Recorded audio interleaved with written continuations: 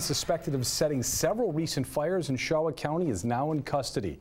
The Charlotte County Sheriff's Office arrested 21-year-old Brandon Michael Wilson after witnesses and other evidence connected him to the scene. Wilson is facing several arson and violation of probation charges.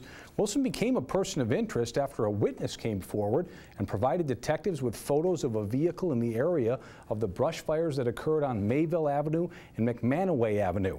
Wilson's vehicle was stopped Tuesday by deputies and during the search, a shotgun and gas can were found. He was arrested for arson of dwelling or structure, malicious land burning, and violating probation.